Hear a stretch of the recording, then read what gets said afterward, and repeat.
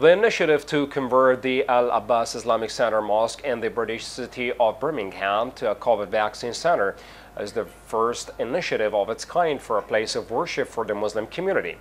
The mosque has launched an awareness campaign to encourage vaccination, counter false news about it, and motivate Muslims and non-Muslims to get vaccinated. The British government praised the mosque's work in an official symposium chaired by Secretary of State for the Home Department Or Priti Patel and for what it considered the pivotal role of places of worship and religious leaders in encouraging access to the vaccine. Secretary of State for Housing Robert Jenrick visited the mosque and expressed his admiration